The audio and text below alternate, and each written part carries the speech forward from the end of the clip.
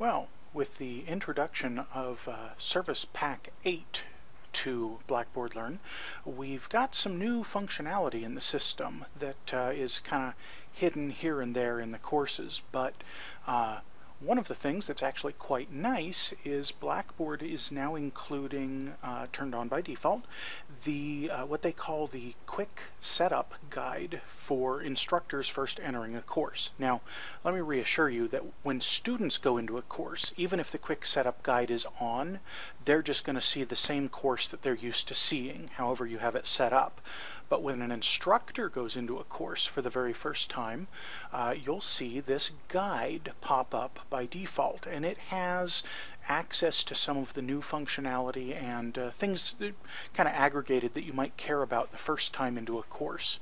Now the first screen that shows up has some help information. There's information about using Blackboard. This is all links to Blackboard generated resources, including their whole on-demand learning center with you know videos and documents and things to help you. Uh, but then also we have a link to the uh, Palomar Blackboard support right there on that screen. So if you come into a course and then you can't really remember what it was you wanted to do and you need help, you can just hit this link and, and get help from us. Okay, so the very first thing I want to tell you is this box will pop up the first time you go in as an instructor in your course, and it will keep popping up every time you go into your course until you check this box down here in the lower left corner that says Hide Quick Setup Guide when I enter this course.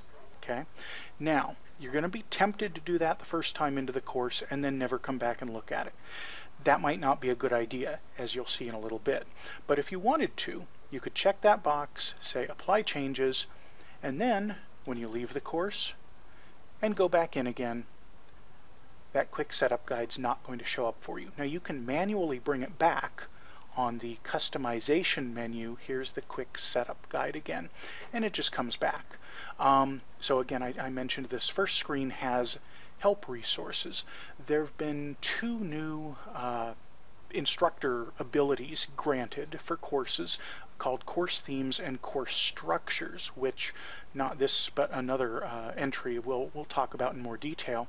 Um, but the course themes can all be controlled from right here on the quick setup guide, and that's basically abilities to, to choose a, a theme, colors and patterns and styles for your course. Again, more on that elsewhere. And then the course structure, uh, this is a quick way to choose between the different uh, structural samples that Blackboard has begun including. Now they don't show up in your course by default, so this is something you'd have to manually opt into but through the years we've had faculty say, can't you give me some samples of a course that I could tear apart and rebuild the way I want?